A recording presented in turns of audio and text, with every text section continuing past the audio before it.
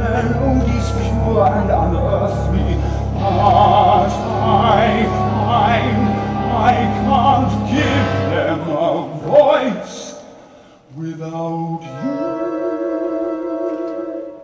La Falla París Pedrera ha convertit l'escenari del centre social en un gran musical per a presentar oficialment a Irene González com a fallera major.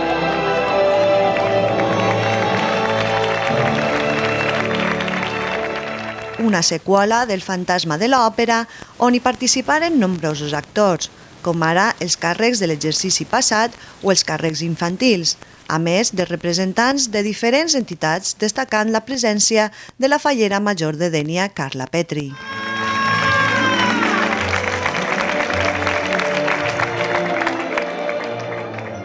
Però de tots, l'actor que més va emocionar a la màxima representant de la falla, sense dubte, fou el nòvio d'Irene, encarregat de fer-li l'exaltació. Es para mí un gran orgullo verte hoy como fallera mayor de nuestra falla, con ese porte y esa elegancia que te caracteriza. Al mirarte a los ojos, veo un océano de sensaciones que tiene en la cabeza al verte hoy sentada en ese maravilloso trono.